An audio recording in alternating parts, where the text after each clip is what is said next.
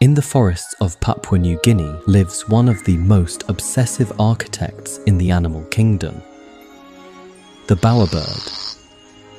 A male who does not attract a mate with his feathers, but with his craftsmanship.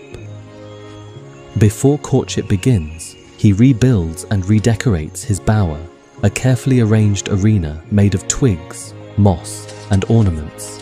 Every object has a purpose. Every colour is chosen to catch a female's eye.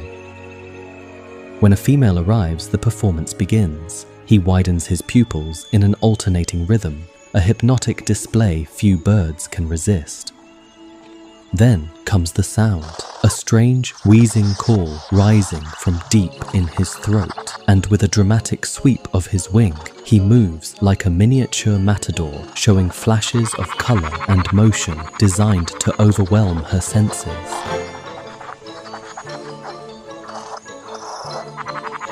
She watches intently, but it's not enough, so she gives him a hint, dropping a small token, the bird equivalent of offering flowers, encouragement, but also expectation.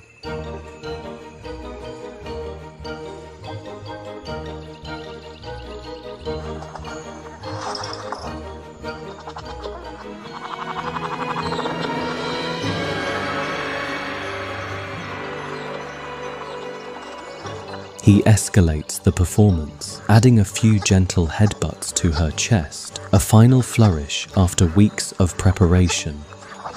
But nature doesn't guarantee success. A rival male appears at the worst possible moment. The spell breaks, the female leaves. For bowerbirds, courtship is a delicate balance of art, sound, and timing, and sometimes even a perfect performance just isn't enough.